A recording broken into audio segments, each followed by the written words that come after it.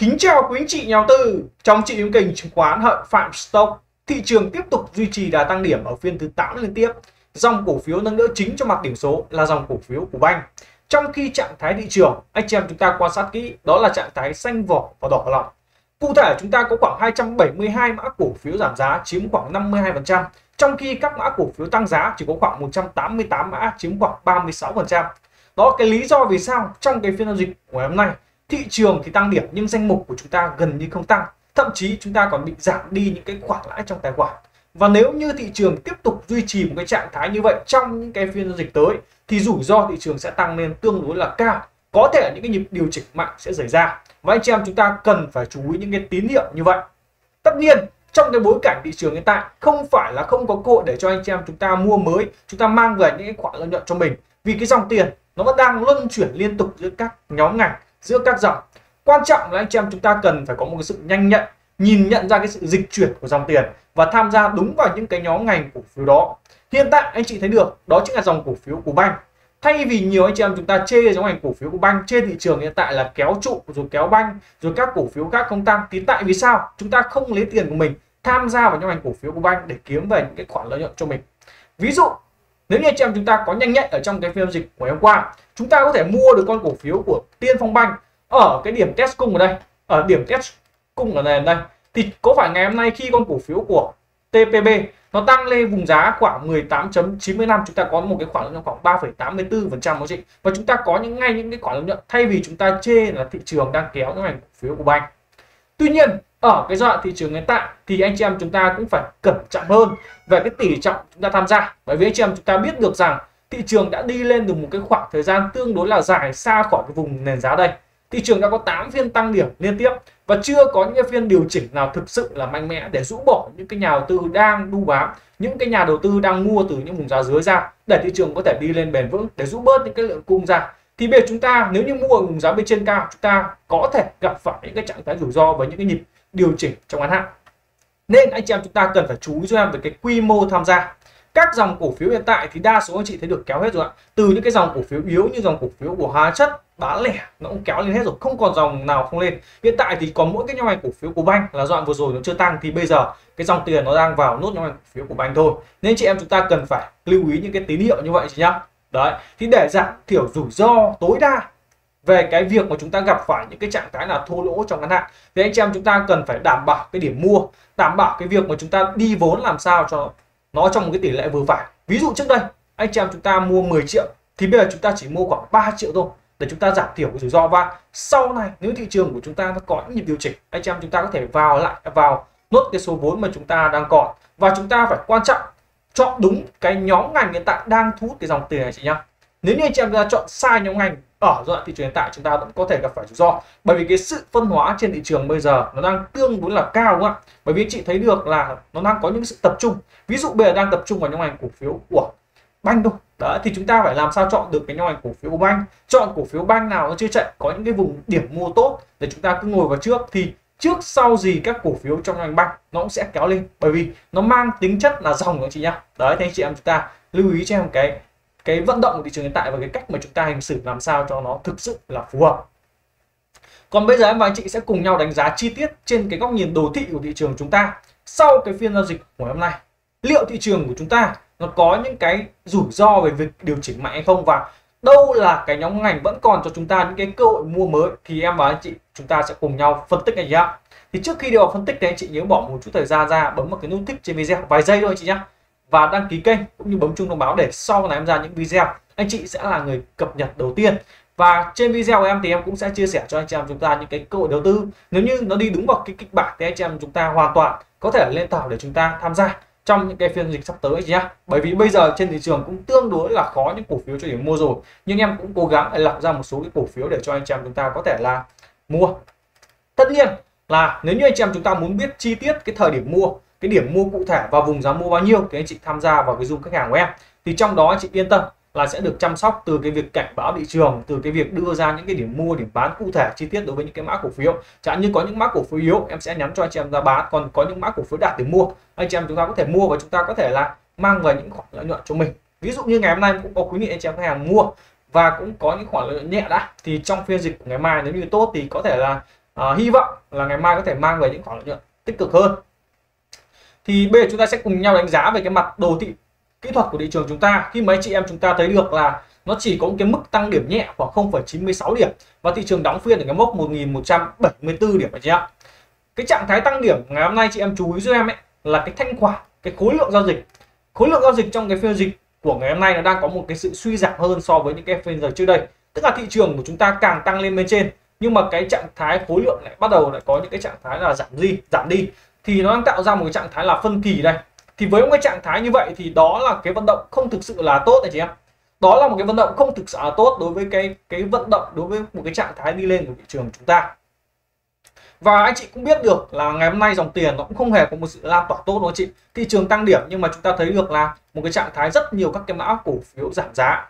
Cùng với đó, anh chị thấy được cái khối lượng thấp đúng không ạ? Trong một trạng điểm kiêm đánh giá cái phiên giao dịch của ngày hôm nay là một phiên tăng điểm không thực sự tích cực cho thị trường của chúng ta phiên tăng điểm nó cho chúng ta thấy được là cái sự yếu đuối về cái lực cầu tham gia vào thị trường đúng không ạ? Với một cái lực cầu tham gia khá là thấp bắt đầu giảm đi và thị trường vẫn tăng điểm như vậy thì em đánh giá đây là một phiên tăng điểm không thực sự là tốt không thực sự là thuyết phục của thị trường chúng ta.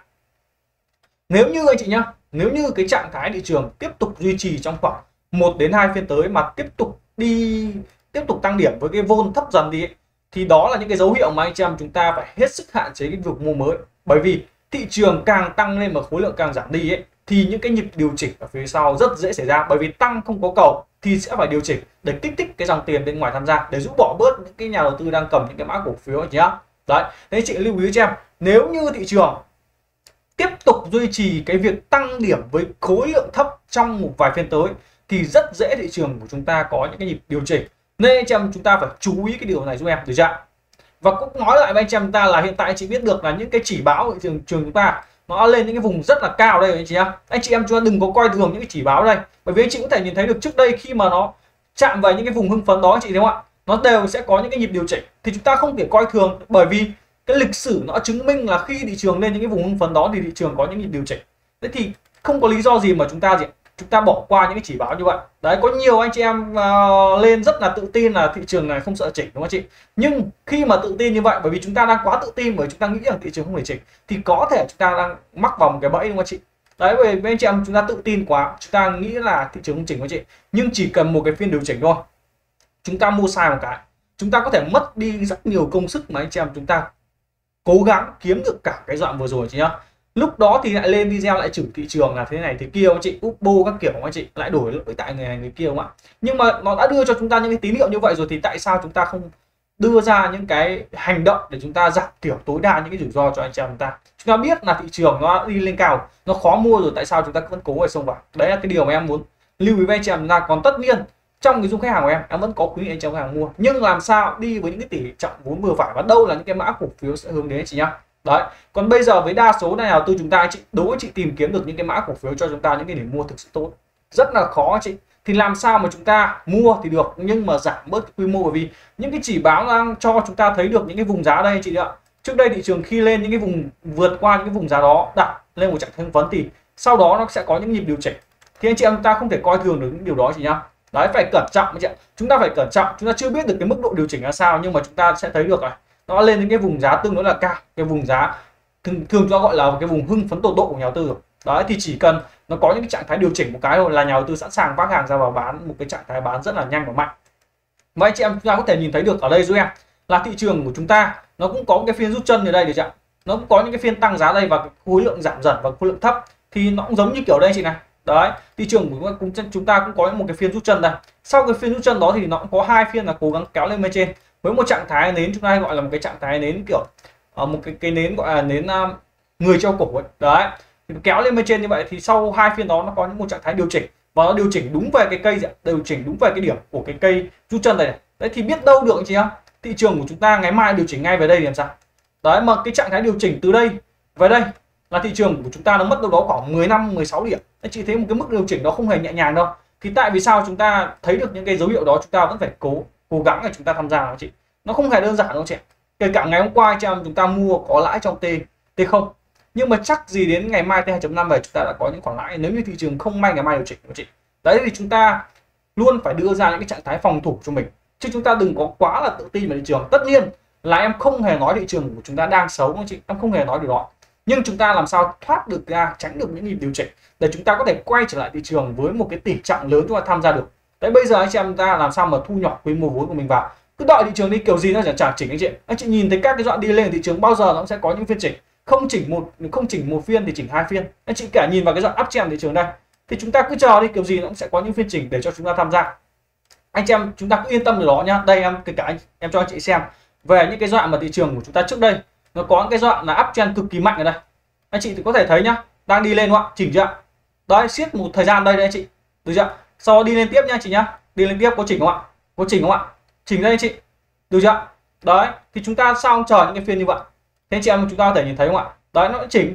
Nó đi lên một đoạn, nó sẽ có những cái phiên điều chỉnh anh chị nhá. Đấy, nó sẽ có những phiên điều chỉnh. Cả ở đây chị không? Chỉnh chưa đấy, sau đó đi lên một đoạn đúng không ạ? Chỉnh chưa đây những phiên chỉnh như vậy. Và nó cân bằng được chúng ta lại, tham gia ở đoạn phía sau. Đúng không ạ? Đấy, sẽ có những cái phiên điều chỉnh. Thì chúng ta cũng không cần phải đây, nó có những phiên điều chỉnh như đây chị. Đấy, nó sẽ có những phiên điều chỉnh, nó test trở lại đấy chị thấy chưa nó cả chúng ta bây giờ đi lên 8 phiên rồi, có thể thị trường sẽ đi lên thêm một vài phiên. Nhưng mà chúng ta cứ chờ những điều chỉnh chúng ta tham gia trở lại khi mà thị trường đạt một trạng thái cân bằng. Với một cái tỷ trọng cao không có vấn đề gì cả anh chị. Tất nhiên là bây giờ anh chị em chúng ta có thể tham gia những anh chú cho em cái tỷ trọng này nhá. Đấy, biết đâu được ngày mai nó điều chỉnh ngay giống đây làm sao? Nó có một phiên giảm đúng một cái cây giống như đây. Đấy, giảm đúng như một cái cây đây. Về test lại anh chị nhá. Anh chị cứ nhớ trong cái mốc 1055 điểm ấy, thì sắp tới sẽ là cái mốc hỗ trợ thị trường chúng ta. Đây là cái cây ở rút chân giảm điểm anh chị một cái cây rút chân ở đây thì thường cái vùng hỗ trợ đây nó sẽ có những cái trạng thái sẽ test về đó nhá. Đấy thì anh chị chú trong vùng giá đó có thể thị trường sẽ test về vùng giá đây. Đấy thì biết đâu đấy nên bây giờ chúng ta cứ phải cẩn trọng cho em về cái bối cảnh thị trường hiện tại nhé đấy. Anh chị lưu ý thì đó là về cái chia sẻ của em về cái thị trường sau phiên dịch của hôm nay. Thì đánh giá là cái rủi ro thị trường điều chỉnh là có thể xảy ra chị. có thể xảy ra trong ngoài phiên tới đâu đấy và anh chị biết được là ở thị trường của chúng ta tuần uh, thứ năm đúng không ạ? Nó cũng có những cái phiên đáo hạn phái sinh đấy thì thị trường thường cũng có những cái biến động khó lường ở những cái phiên đó thì chúng ta cũng phải cẩn trọng để chặn. Đấy bây giờ thị trường đã đi, đi lên một giai đoạn rồi. Em cũng không còn thực sự với anh chị nhá. Nếu như để mà bảo tự tin để mua với một tỷ trọng cao thì em cũng không đủ tự tin. Đấy em chia sẻ thật với anh chị em chúng ta bây giờ em sẽ đợi có những cái nhịp cân bằng ở đây. Là tham gia vô tư anh chị khi mà thị trường cân bằng chúng ta tham gia một cách rất là vô tư. Còn bây giờ thì em vẫn nhắn với chị em khách hàng là mua nhưng mà với những cái tỷ trọng vào dần vào dần vào dần đấy và mua những cái điểm nền giá nữa chị nhá. Và chọn cho em đúng cái nhóm ngành cổ phiếu. Ví dụ bây giờ nhóm ngành cổ phiếu banh đang là nhóm ngành có dòng tiền thì chúng ta hãy tìm kiếm những cái cổ phiếu trong nhóm ngành banh để chúng ta có thể tìm kiếm những điểm mua. Bởi vì cái dòng tiền nó vào rồi thì nó sẽ đỡ giá cho chúng ta. Chúng ta sẽ ít gặp những cái rủi ro. Đấy là về thị trường. Và cái bối cảnh bây em sẽ chia sẻ với anh chị em chúng ta một số cái mã cổ phiếu được chưa để chúng ta có thể quan tâm trong những cái phiên dịch tới. Nếu nếu như nhá, nó đạt những cái điểm mua chúng ta có thể tham gia được. Đầu tiên đấy trong những ngành banh thì em đang chú ý đến con cổ phiếu của con Techcombank. Thì à, Techcombank thì TCB ấy, là em đã chia sẻ với anh chị em chúng ta trong cái video ngày hôm qua rồi. Là anh chị em chúng ta ngày hôm nay con cổ phiếu Techcombank nó chỉ cần có những điểm hướng lên bên trên thôi là anh chị em chúng ta có thể mua được. Lý do vì sao? Bởi vì anh chị em chúng ta có thể nhìn thấy được con Techcombank nó đã có 3 lần để test về một cái vùng hỗ trợ rồi. Và nó có quá trình chúng ta gọi là quá trình nâng đáy anh chị nhá. Techcombank anh chị có thể nhìn thấy được sau khi nó tạo ra được một cái vùng nền giá đây em sẽ phân tích kỹ cho anh chị em ta xem cái vận động để anh chị em ta hiểu nhá sau khi nó tạo ra được một cái vùng nền giá đi ngang đây, thì nó đã có những cái phiên gãy nền rũ đây. Và anh chị thấy được cái quá trình gãy nền rũ đây đã xảy ra. Sau quá trình đó thì cổ phiếu đầu có những quá trình hồi phục lên cái vùng kháng cự. Thì nó điều chỉnh lại và test lần thứ hai đầu hướng lên bên trên. Sau đó cổ phiếu lại có quá trình test lại lần thứ ba. Và cái quá trình test lần thứ ba chị thấy được cái vô nó có trạng thái thấp ở trong phiên ngày hôm qua. Thì ngày hôm nay nó tiếp tục hướng lên bên trên và dòng tiền nó bắt đầu có những cái sự tham gia ở trong cái phiên dịch của ngày hôm nay đối với con cổ phiếu của Techcombank thì đối với cổ phiếu của Techcombank thì chúng ta có thể kỳ vọng được là trong cái phiên giao dịch của ngày mai Techcombank nó có thể nó sẽ bứt đi. Đấy. Thì anh chị em chúng ta mà có muốn tham gia cổ phiếu Techcombank ấy thì có thể trong phiên giao dịch của ngày mai mà nó có những cái trạng thái đầu phiên nó đỏ đỏ anh mời anh chị em chúng ta bây giờ chấp nhận nhá mua chậm T thì chúng ta có thể lấy một cái vị thế nhỏ được đúng không? Cổ phiếu của Techcombank để chúng ta cảm nhận xem cái phân tích nó sẽ ra sao. Bởi vì anh chị có thể nhìn thấy được con Techcombank anh, anh chị biết nó đang vận động giống con cổ phiếu nào ạ? Nó đang vận động giống con cổ phiếu của DG chứ này? DG nó cũng có những cái trạng thái là gì test anh chị test lần thứ nhất này test lần thứ hai này và test lần thứ ba được chưa test này anh chị hồi lên này test lần thứ hai chặn hồi lên này test lần thứ ba và hướng lên bên trên cùng dòng tiền vào. Đấy thì sau đó nó sẽ có những cái dạ, tăng ở phía sau. Hai con cổ phiếu của DG cũng vậy chị ạ. Sau khi nó giảm được chưa sau khi nó giảm xuống thì nó có những phiên hồi lên. Hồi lên xong nó có những phiên test trở lại dạng lại hướng lên bên trên. Test trở lại lần thứ ba và hướng lên bên trên. Đấy thì đối với những cái cổ phiếu test ba lần mà nó không thủng đi những cái vùng hỗ trợ thì cái xu hướng của nó rất dễ là sẽ hồi phục nhá. đấy thì TCB hiện tại là con cổ phiếu hiếm hoi trong nhóm ngành cổ phiếu banh và nó có những cái trạng thái là cân bằng ở đây tương đối là tốt rồi. Đấy thì anh chị em chúng ta có thể là uh, quan sát được nhá. Đây là cổ phiếu của banh. Hay là cổ phiếu của chứng khoán thì em thấy được có hai con cổ phiếu mà anh chị em chúng ta có thể chú ý được là con cổ phiếu của con MBS MBS thì anh chị có thể thấy được là nó đang tạo ra một cái vùng nền giá đi ngang đây. Nó đã có những quá trình nó siết cái nền giá đây. Đấy thì phiên giao dịch của ngày hôm nay con cổ phiếu MBS nó có một trạng thái là test lại chị có một trạng thái là test lại cái vùng hỗ trợ bên dưới và cái thanh khoản. Anh chị nhìn thấy được, rất là thấp nhá. Thanh khoản của MBS ngày hôm nay tương đối là thấp. Thì đối với một trạng thái thanh khoản thấp như vậy thì trong cái phiên dịch của ngày mai, nếu như MBS nó có một trạng thái là đầu phiên giảm và cuối phiên nó xanh lên bên trên đấy thì có thể là một cái điểm mua cho anh chị em chúng ta được nha chị nhá. Đấy, bởi vì một cái nền tảng giá nó kéo dài khoảng 6 phiên và ngày mai là phiên thứ bảy mà nó hướng được lên bên trên thì rất dễ nó sẽ có những cái trạng thái bật tăng nhé đấy, rất dễ có trạng thái bật tăng bởi vì nó đang gặp cái vùng cản đây. Đấy thì nó đang tích lũy trở lại thôi. Đấy thì anh chị có thể chú ý con cổ phiếu MBS được. Hay là con cổ phiếu con BVS BVS anh chị có thể nhìn thấy được là trong cái phiên dịch của ngày hôm nay con cổ phiếu BVS nó có trạng thái là test lại vùng đáy trước đó thôi. Đấy nó sẽ có cái vùng hỗ trợ ở cái vùng giá khoảng 25.5 25.6 đây. Và anh chị thấy được là cái thanh khoản con BVS đang liên tục có một trạng thái là kiệt dần, thì trong cái phiên dịch của ngày mai con cổ phiếu của con BVS nó chỉ cần có một trạng thái là ở hướng lên bên trên với cái thanh khoản nhỏ thôi. Có thể đầu phiên nó sẽ giảm tiếp và cuối phiên nó sẽ hướng lên bên trên với một cái thanh khoản nhỏ thì chúng ta cũng có thể cân nhắc được. Để lấy vị thế. Bởi vì con cổ phiếu BVS anh chị chúng ta có thể nhìn thấy được là sau khi nó vượt qua được một cái vùng kháng cự đây. Đấy thì hiện tại nó đang test trở lại cái vùng à, vượt qua vùng hỗ trợ đây chị. À vượt qua vùng kháng cự. Thì cái vùng hỗ trợ à, vùng kháng cự đó sẽ trở thành cái vùng hỗ trợ. Thì hiện tại nó test lại cái vùng kháng kháng cự đỉnh cũ chưa? Hay là vùng hỗ trợ đỉnh cũ đấy. Đấy thì hiện tại test trở lại và cái thanh khoản đang kiệt đi là một điều rất là tốt. Thì chúng ta có thể kỳ vọng được vào cái điểm mua đối với con cổ phiếu của con BVS nhớ chị nhá. Đấy thì nó bứt được đi ở đây thì nó sẽ trở về có thể về những cái vùng giá rất là cao bên trên là vùng giá khoảng 31 32 bên trên nhá. Đấy là một số con cổ phiếu mà anh chị em chúng ta có thể quan sát trong cái phiên dịch của ngày mai. Thì để cập nhật thêm những cái mã cổ phiếu khác thì anh chị em chúng ta có thể liên hệ với em để tham gia với cái dung khách hàng tại công ty chứng khoán VPS và TCB anh chị cần ai điều em hoặc anh chị có thể tham gia dưới hình thức zoom thu phí anh chị nhá. Còn anh chị em chúng ta muốn uh, uh, có thể hỏi về những cái mã cổ phiếu anh chị có thể tham gia vào cái dung cộng đồng em để bên dưới phần bình luận dạ và anh chị nhớ nhớ bấm vào cái nút thích trên video cũng như đăng ký kênh để cập nhật thêm những cái video tiếp theo trong thời gian tới của em. Chúc anh chị em chúng ta sẽ có những cái phiên giao dịch tiếp theo gặp nhiều may mắn. Cảm ơn anh chị.